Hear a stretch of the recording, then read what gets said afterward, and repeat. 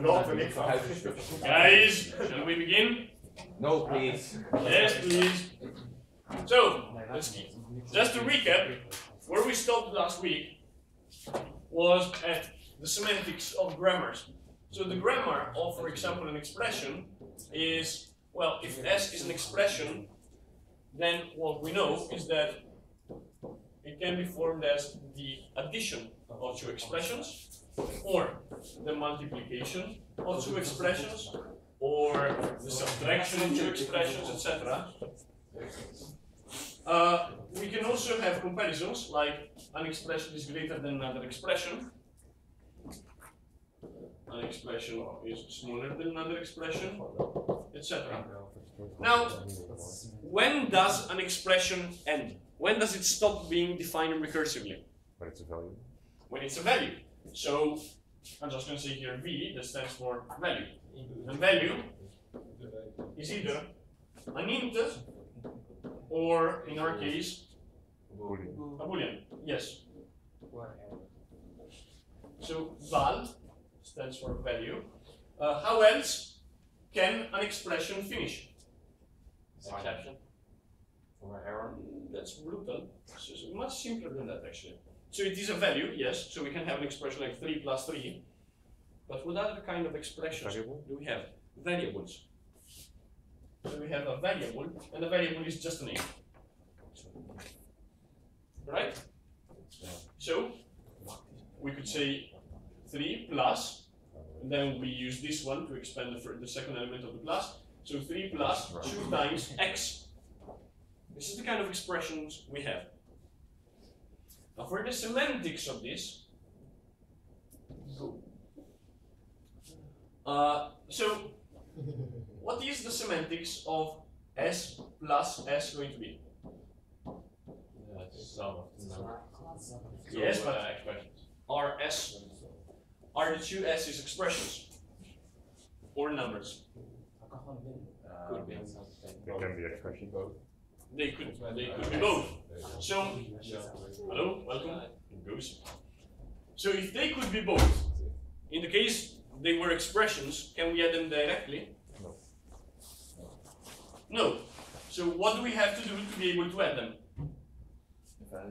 To evaluate them. Yes. So I'm going to evaluate. Oh, sorry, we used um, another symbol last time. So arrow with an e stands for evaluate expression. So I first evaluate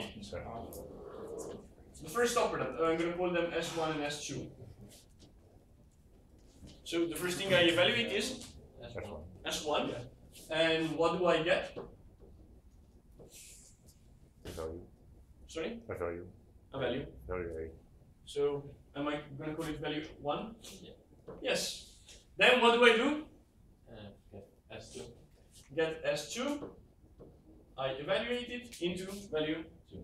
value 2. Yes.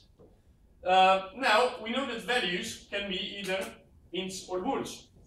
But which ones can we add? We are not going to do dirty things like booleans or 0 and 1. Not. Not No? here. No, we are not. So, what do we require then? That v1 and v2 are both James. int. So we say v1 is int and v2 is int. And what do we return here then? What? V1 plus V2. v1 plus v2. Not an error.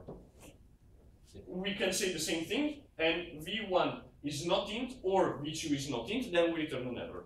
So we would have s1 plus s2. S1 goes into v1, s2 goes into v2. v1 is not int or v2 is not int. Then here we return the error. Okay? So the first that you might notice is that we have plus here and plus here. Are they the same plus? Yes. Well, the one is adding expressions and the other one is adding values. So this is just a symbol. This is an operation. Don't worry about it. Don't worry about it. Nevermore. So this is just a symbol, the symbol of addition between expressions. This is the actual operation of you have two integers and you add them together and you get an integer. So this is the, if you want, this is the the the, uh, the CPU operator, and this is the programming language operator. Okay. So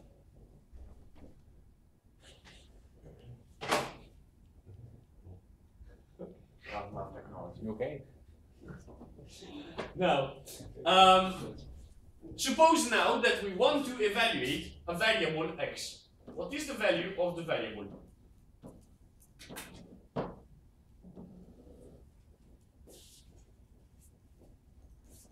We look it up in memory.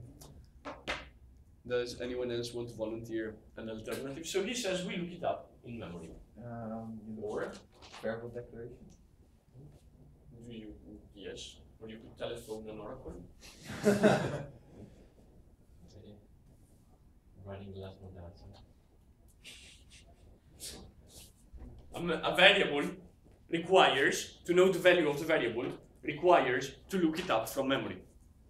So this means that this was not enough. We actually have to carry memory with us. So m comma x. You know what m stands for? Memory. Memory. No. So what we do here, ah, what we do here is we just return m of x. Which means look up x into m. So how do we change the definitions above? Well, we are saying now that to evaluate left of the arrow we have memory, comma, an expression. But here we have only an expression. What do I need to add here? Memory. How? M comma expression. M comma s1 plus s2. I'm also going to use brackets. And then where else does memory go? That's top.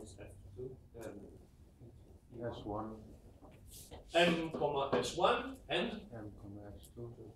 m comma s2. Also here m comma s1, m comma s2, and m comma s1 plus s2 in case of any. Wouldn't you add it then after the evaluation arrow that uh, it isn't V one but uh, memory of S one? This is evaluation of expressions, and I'm assuming that evaluating expressions does not change memory. So just expressions, stuff like 3 plus x, etc. Statements, on the other hand, change memory and return no value.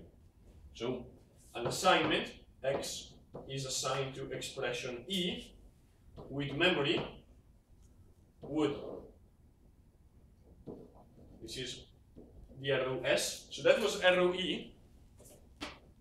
But if I'm evaluating this, and this is a statement and not an expression anymore, then how would I solve this?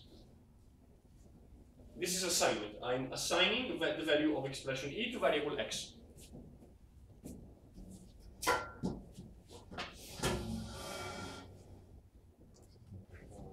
Oh, we, um, We start with memory. Yes. We're gonna do something with memory. Yes, but what do we evaluate first? Uh, E. E. And do I use arrow S or arrow E? Uh, you're chasing the memory, so you're using arrow S. Are you sure? Now you're only chasing the variable. now you're evaluating the expression and therefore you use value. uh, This is an arrow E. expression. So m comma e arrow e and goes into the value of expression e. So this was something like three plus five times y. Yeah. So this doesn't change memory. Three plus five times y gives us back a value, but it doesn't Change the memory. change the memory. Exactly. Then, on the other hand, the evaluation of the statement will change memory. How so? It changes the value of e The value of of x the value of x in memory. to v So what we return is the memory. memory Two where X. so it, it doesn't fit. So I'm gonna write it more. Sorry. So memory where x is now connected to what value? Value So Value one. VE. Yeah, sorry, the resolution is, is so a meter point. So value E goes into memory prime, and then we return memory prime.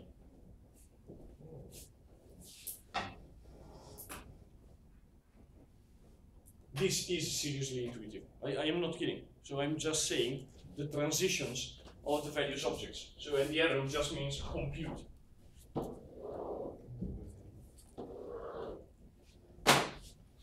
Questions? Feelings of dread? Favorite. Okay, now, in unrelated news, we are testing uh, for students that do not get the B or equivalent credits for the last year, for, for every year. What? now, there is one aspect. Oh no, it, it was kind of funny. Um, today we had the, the um, this, uh, we had the introduction day with the um, prospective first year students, and How I did, did you torture them? and I, I did actually mention the fire pits. and you were like, "What tense fire pit? That sounds bad." so because I said you may help each other, but remember that at the end of the day, the worst five percent goes into the fire pits. so don't help other people too much. and had a moment of not understanding and panic. Um, yeah. They still take it seriously. How, how to how to uh, give this school a bad name? Just That's your first day with them. You Take it seriously. then. So- First day. it's not even the first day. No, Actually. no. He makes them scared that they're not even in the school yet. Yes, yes. we- yeah, for some it's Unbelievable. actually proper. Now, That's a great idea. um, which bit do you find kind of dirty? In this formulation here, there is a bit I do personally find dirty. I don't like it.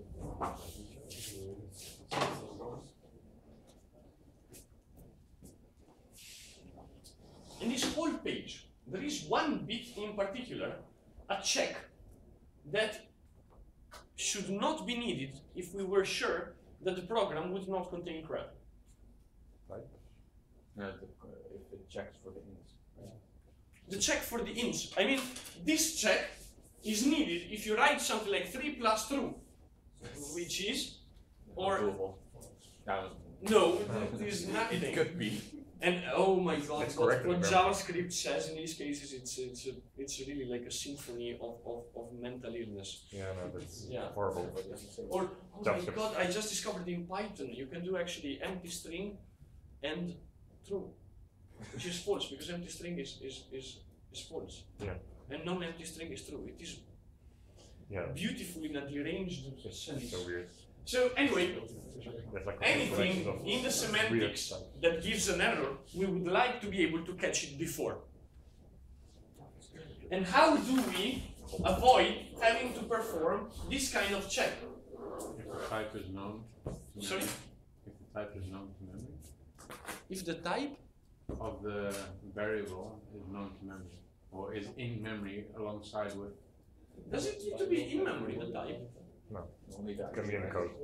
So what does a programming language like Java, or better yet F sharp, do before running? So if you write code like The like 3 plus 2, what does it say?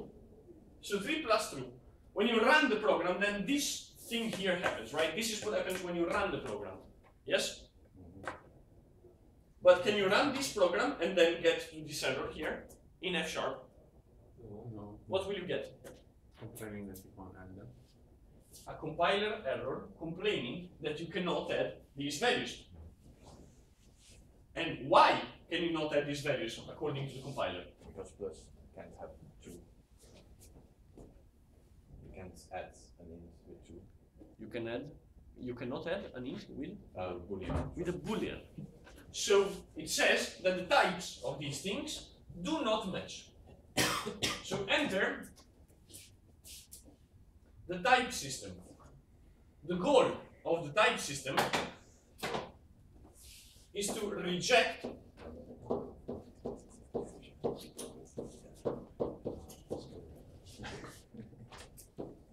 what sort of programs? Programs with incorrect values or that would then generate runtime errors. So rejects programs that would give a runtime error. All of them, so all programs that would give a runtime error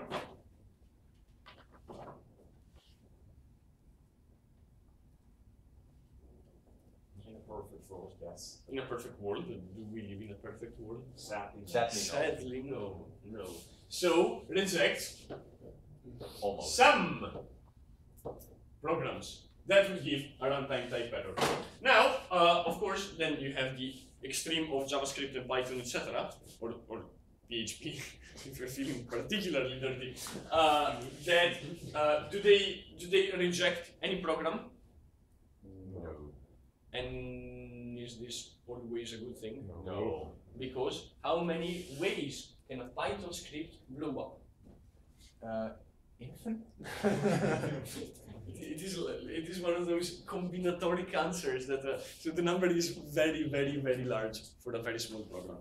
Uh, on the other hand, uh, did you get the feeling that a language like F sharp, Haskell would be even more uh, even, even stronger in this regard? Is it a forgiving language? No. Does, it, does the compiler complain a lot? Yeah. You, you, you should have noticed this. It is very hard to even get to the point where you're running the program because the compiler keeps saying no, no, no, no, no, no. It's very That's annoying. But It is annoying, but then again, but then again, It's helpful. Yeah, Makes it's very really good. helpful. it is helpful in that instead of having to test everything, you are reasonably sure that lots of classes of bugs will not be possible at runtime. So, so a bunch of bugs cannot happen that would be possible in, in, in other languages. So you could use this to define a hierarchy of languages where some languages are better than others, but we are not going to. No? Not explicitly No. at least. Damn it. Is it our mind? I, I might write here a list of languages in, uh, from, from top to bottom, but without implication of order. No, no, there's no order in them. Definitely not. No, no, absolutely No. not.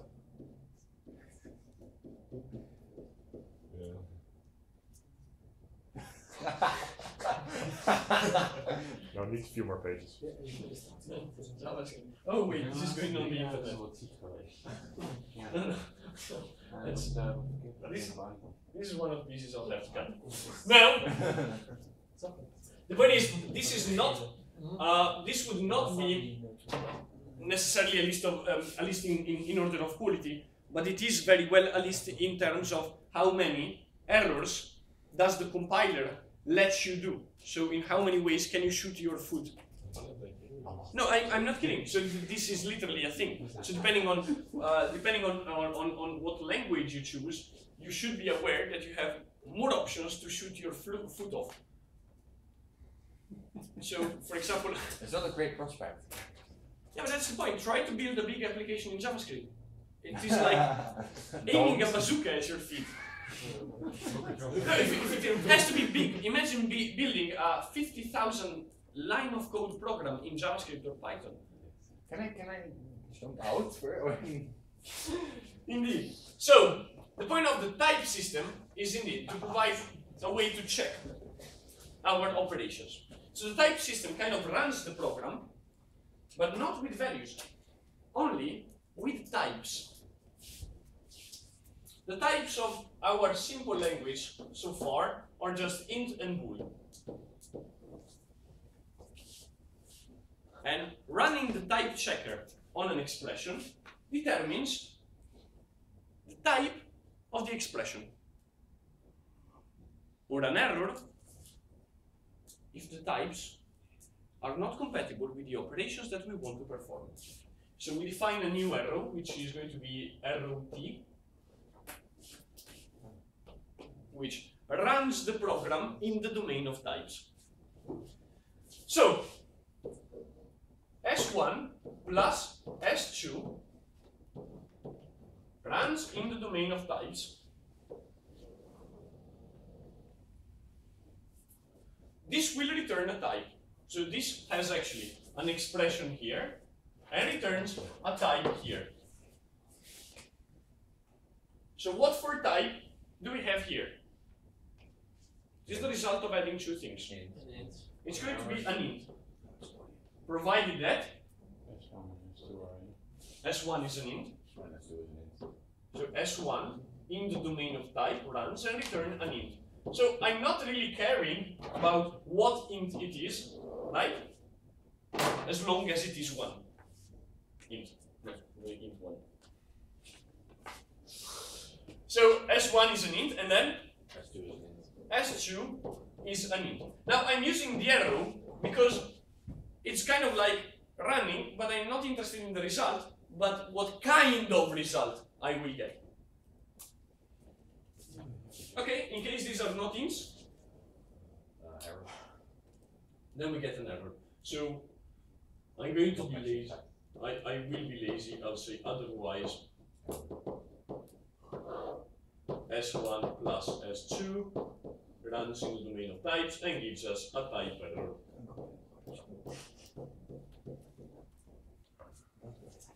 Okay, so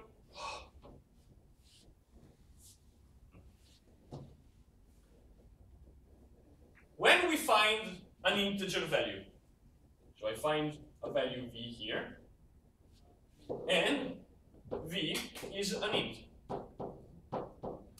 Then what is the type of v?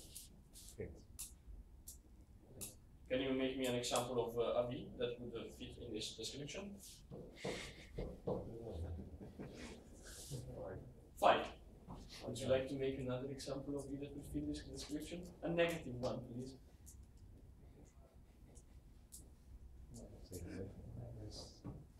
Minus zero. Minus. Minus three. Okay, and so on. Now, um, what would be if v is a boolean? What would be the type of b of v? Boolean. Yes, this is very straightforward. I know. So, uh, can you make me an example of v? One. Well, one and zero, possibly. No, not No. possibly. That sucks majorly. No. Maybe. Yeah, okay, so we is Zero. either true or false. Because I, I would rather avoid a stroke. okay. Or it's Now, we have the issue that what is the type of x? Hmm.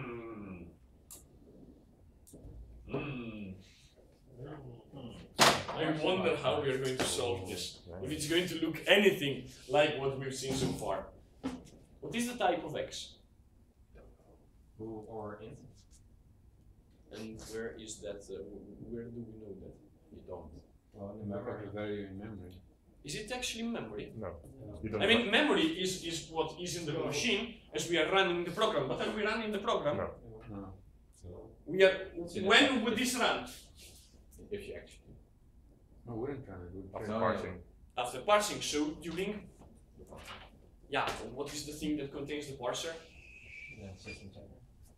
Yes. And what do we call the program that does things to the sources? The compiler. the compiler. So this is happening happening within the compiler. Okay. So we know so we need something that kind of looks like memory, but it's not really memory because memory is only a proper name for the store of values. But this is storing the type of variables, right? So I'm the, the usual name that we give to this thing is the typing context or just context, shortened as gamma. Mhm. I am not kidding. This is typically how this is shortened. Type theory people are weird. Very weird. So anyway, so instead of gamma, I'm going to call it C.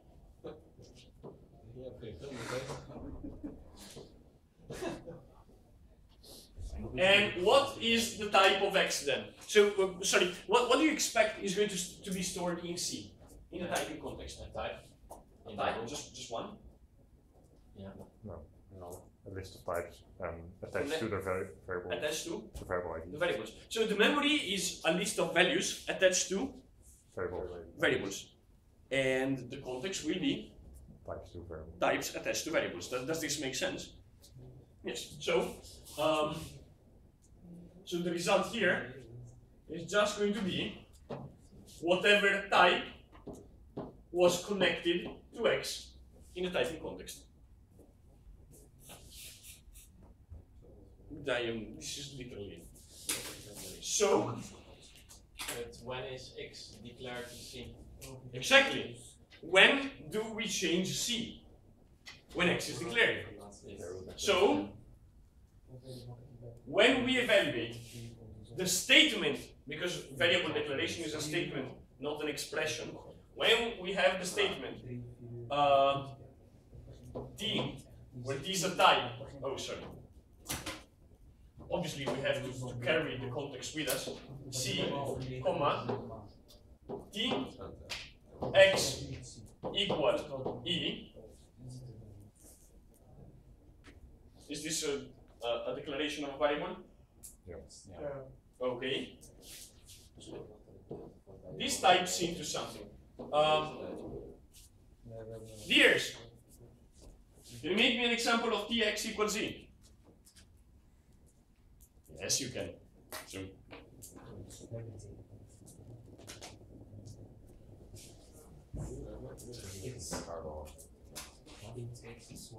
int x is 1, okay? That would be one that works. Yes. So, oh crap.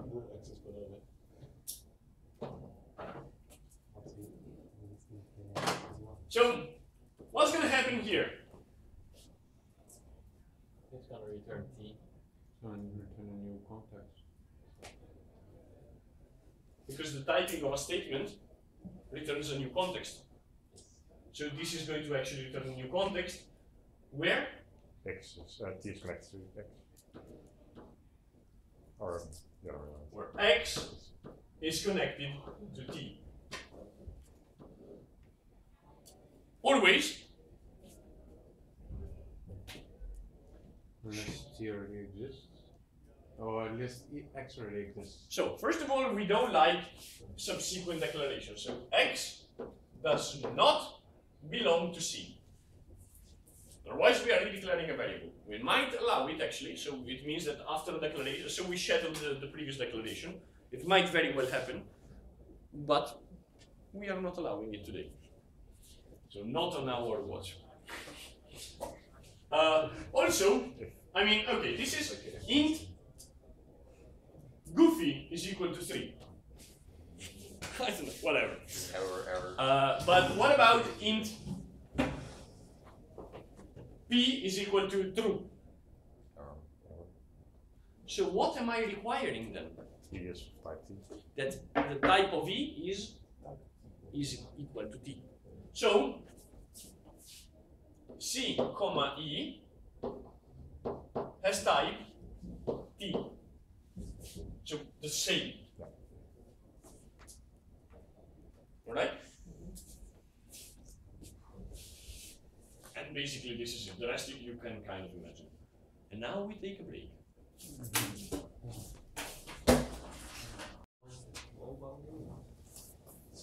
Red button. Yes. Alien.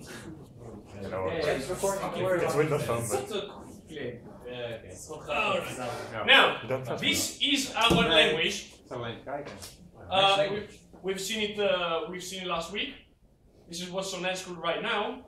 A statement is a variable declaration, a variable assignment, and if by Be right back. a semicolon, and expressions are values, variable lookups, greater than, addition, the rest you can imagine. Okay? So, for example, why is the if made like this? What does this mean? Okay. then else. First, if it's the, uh, well. the What is this? Uh, well, the expression, uh, The whole thing is the if statement. In the end, is it's true or false. Yeah. That Yes, would but be, uh, the expre- this expression, what's it gonna look like? For the, make an example. three is greater than one. Three is greater than one. This is the condition of the if. Then this will be Then. the then, and this will be the the. Okay? So three things. In the semicolon, what is this? Um, Statement before it's semicolon. Yes, so probably the current instruction. Yeah. And this will be The next. the rest of the program. yeah, because you have statement, statement, Yes. Now. the I will now define, oh yes, of course, uh, values are just ints or interval constants. So I will define a type, and a type is going to be either either an int or a boolean. Do I need anything else for this language? Not no. Not really. Okay. An error. Uh, an error. I can just throw an exception. You know. It's lazier. I like it. Yes. So let rec uh, type check as This one is good. takes as input. What what do you think is gonna take as input? Type check as Statement. statement. Yes. Which I'm going to call s. And what does it return? The type. Does it? Do statements have types? Uh, it's checks, that probably return boolean. or nothing, and it just goes through the thing and throws an exception. It is the same actually, but I'm doing the very lazy way, and it's just either returning nothing. So type check, you, you say, okay, na it, it's a really imperative statement, so check the type of this thing. If it's correct, we don't do If it's correct, it doesn't do anything. If it is wrong, I thought it was an exception. Okay? But it will only show the first uh, error. Yes. La- I said lazy like three Yeah, times already. Yeah, yeah, once you fix the first one, you get the second one. How it works. So, match as we.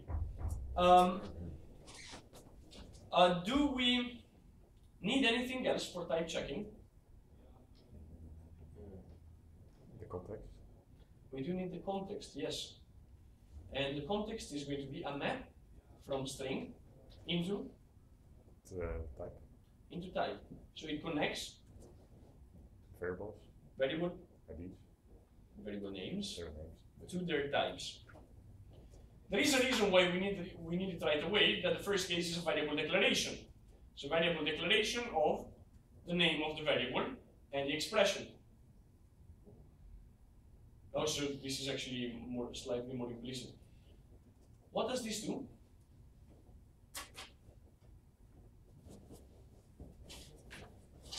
So we are declaring variable x to have value of this expression. Yeah. check the type. Sorry? You have to check the type. Of? Check the type. So X.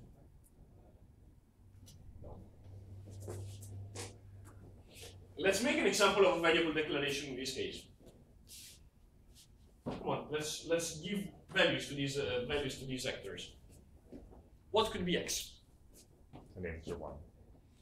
No. X is a variable name. Yeah. So this would be customer age. Okay? Equals an expression. You make me an example of an expression? Uh, that's an encode. No, that is a statement. Alright, uh, a value. A value, yes. Even Such a- says that. It quite literally says it here. So we could have customer age equals 40. 40. 40 plus 5. 40 plus 5, whatever. Okay? So we have an expression here. And what do we want to do? So we are declaring a variable, so we have to put in the context The type of e. the type of, of e. of e connected with Uh, x. with x. Yes. So we will. Oh, what done? Nothing is up there. Sorry. So I will get the type of e. So et is e. equal to get type of e within the context. Now get type doesn't exist yet, so I'm gonna make it here. Is the expression, context is map string type, and get type simply returns the type of the expression or throws an exception. For the moment, get type simply says not implemented. So we, we can go on and build the, the, the, the overall thing. So we have the type of expression E, and this type goes directly into the context. So we could say context prime is equal to context, sorry, map dot add, uh, let's see, key is x, value is t, value is et within the context. What do we do with the context prime?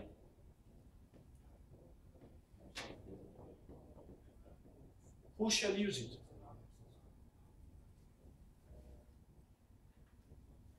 Who uses the context generated by a variable declaration?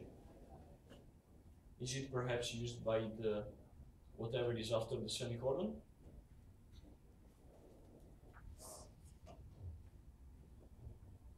As a matter of fact, it is.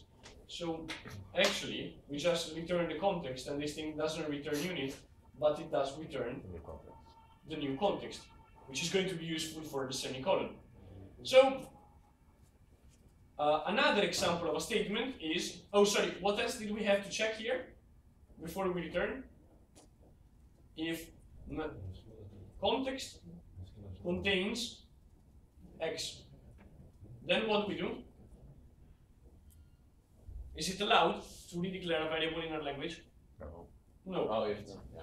fail with already declared variable. Otherwise, we go on and, um, and just return the, the new context. Then we have a variable declaration. The declaration, oh sorry, sorry, Variable lookup, right? Variable assignment. No, the lookup is an expression. Yeah, I was looking at the. Yeah. uh, At the lookup of it. So assignment of x with expression e. What are we going to do? How are we going to type check assignment of variable x and expression e? So come on, I want to type check assignment of x to expression e. You get type of E first. I get the type of e first, yes. And then, Then you look up the type of X in the context, then I look up the type of x. if it exists. in the context. Ah, then I, if it isn't, I get I Yeah. get an error. I get an exception, so I don't care. And then what do I require? For them to be To the same. the same. So if xt is different from et, then uh, uh, fail with type mismatch. And you would probably want to give some slightly more informative errors. Does the context change after assignment? No. So what is the resulting context? Context. context. Okay, now next one is going to be oh the if if, if is the nicest of the nicest of them. If condition then else. What is required of the condition? Condition. Condition needs to return bool. Condition returns a boolean. So if get type of condition with the context is different from boolean, then fail with only boolean conditions allowed in ifs. No. wow. Then um, then um, we type check t. So let the context of t be type check as on the then uh, the, the then branch and context. Then we do the same for the context of e. But what is the context at the end of the if? Is it the context of the then? Is it the context of the else? Is it something else? It depends. On what? Uh, if your condition is true or false. The context contains all the variable declarations, right? Yeah. Are the variable declarations inside the then or inside the else relevant? No. No. So what do we return after the if? The old context. the old context. So we are literally implementing scoping. So the then and the else may declare whatever variables they want, but after the if, those variables do not exist anymore. Ah, but you can still use everything that was declared before. But everything that was declared before the if obviously remains. Uh, the, oh, sorry. Here he's complaining because bool means two things. Yeah, bool. Bool is the type, but also the constructor of values. Yeah, yeah, So bool, I- right? I can very easily disambiguate actually. I can say type dot bool, and now it knows clearly that I'm talking about the, the, the bool of type. So the last one is semicolon. Semicolon of uh, A followed by B. Was it the last one? Yeah. Yes. Semicolon A B. What do I do here? So A is a statement, right? Or even a bunch of statements possibly. Just type check A. So shall I type check it? Yes. Context of A is equal to type check A with the context. Right. Then will I type check B? Yes, with context of A. With the context of A. Why the context of A? Otherwise you get, uh, you keep on doing context of A. You just end up in a loop. Yeah. Doubles. A can. Yeah, but the any point is, if A declares variables, are those variables decla- declarations visible in B? Yes. If you have x equals zero and then something that uses x, then then it's fine. The semicolon propagates the variable declarations. Whatever you whatever is declared before a semicolon is valid after the semicolon. Otherwise it forgets what's up there. Exactly, otherwise it forgets what's up there. Now the if or stuff like the while loop, etc., in the body of the then, the else, and the while loop, then you have local declarations which are not visible after. That's But different. but the semicolon does things go through. So now I type check B With the context of A. And finally, what is the, the resulting context? Context The context of B. This is a type checking. Now, obviously, uh, we have to, to build uh, the get type. Uh, once again, laziness. Match E with. So, value of possible values are int, whatever int. Does it matter what int it is? No. What is the type of an int value? So type.int. Otherwise, it's going to complain because there's confusion. Um, what is the type of a boolean value? True or false. Type boolean. Yeah, that, yeah. Fire pits. What is the type of a boolean value? Yes. Okay. Then, if I look up a variable, what is its type? Get type with the expression. This is just a variable lookup. So Let's I have something like 3 plus i. Look it up in the context. I look it up in the context. Context of x. And if the variable is not there, what's going to happen? Errors. We just throw an exception, which is more than 5 with us. Then, we have a comparison greater than expression 1, expression 2. What shall I do? Mm, Check if they're both in. Check if they're both ints. So, get type e1, sorry, if get type e1 context is different from type.int, Uh, arrow. Or Yeah. Yeah, I'm gonna do them both. Could very well throw the error uh, right away. Then, fill with. fill with cannot compare non-int values. And what is the type of greater than? Boolean. Boolean. So type. Ah, You need to change the second E1. Sorry? Needs Yeah, change it's the E2, second not E1. E1. You're doing E1 Okay. twice now. Ooh, sorry. Thanks. That's how mistakes happen. Yeah, life sucks. You So can't- you now- can't find it. Like the copy and code, it's always you can't, you can't find it anywhere.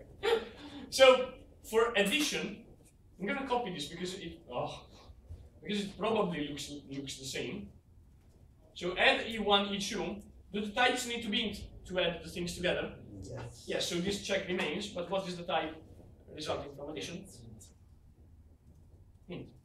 Now we really have done the type checker. No, I'm not kidding. So we took what? Ten minutes? Ten minutes? Ten minutes. Maybe. 12, 15. You don't have a timer. So let's see if this actually blows up now. So we have evaluation. Uh, now the sample was we declare x to be equal to 0. Then we declare i to be equal to 2. Then if x is greater than i, we declare z to be equal to true. Uh, then x is assigned to i plus z plus 3. Otherwise, we declare z to be equal to true. And then we do x is equal to y plus 3. Okay? So this should actually work. complicated. Sorry? Yeah. Uh, this is just ugly because it- we don't have a parser. This is like a case for make a parser. But you have already done assignments 1, 0, 1, and 2, so you have the parsers nice, so you can make this nicer. So let's begin by printing the type checking. Why is it complaining? Oh, it doesn't matter. Of the sample. Uh, what is the initial context? Empty map. Empty map. Mhm. Let's see what it prints. I'm kind of curious now. Cannot compare non-int values. Let's see. Y, U, oh, this is Y and this is Z. Oh, this is interesting. or not. oh, Yeah, you're adding Z to I and three. so do you remember the, so but let's see what You happens if I just evaluate this. You can't add I and C. If I evaluate, it doesn't complain. Why? Is x greater than i? Then y. No, No. So which one of the if branches is run? the second one. The second one. And does the second one fail? No. No. But what the type checker is telling us is that the if is actually Invalid.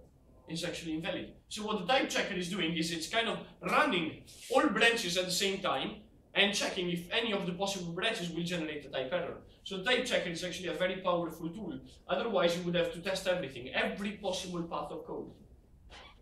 So the type checker is actually complaining that this is not valid. How do I fix this? Make it so that delete it. Or I then the second one has to be Sorry? the second declaration of Z. The second declaration of is perfectly fine because I don't use it, I just declare it. Ah, yeah. But here, because I do y plus z plus 3, then z has to be of a reasonable type. And I will also fix the, the error because cannot add non-int values. Let's run this now. And what we get, you see above, no you don't. Yeah, It's we like can. Yeah. Tiny. Yeah, but the, the nice future people that will watch the video can't see shit. So It's only perfect. Come on, it's not to me. So you see, above we have the context, the resulting context. And is this what we expect from the context? Yeah, basically.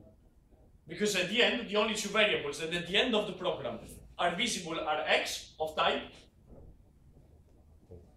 and y of type int. Then we run the program, and at the end of the program, we see the same variables. Why do we see the same variables at the end of the program? Because it's correct.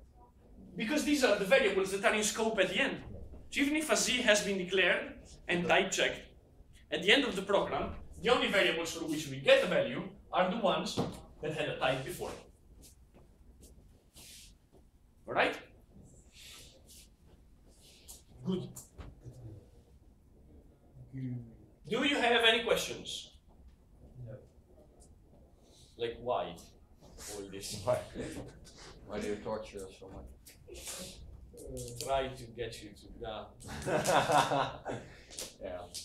Yeah. Uh, so, any further considerations?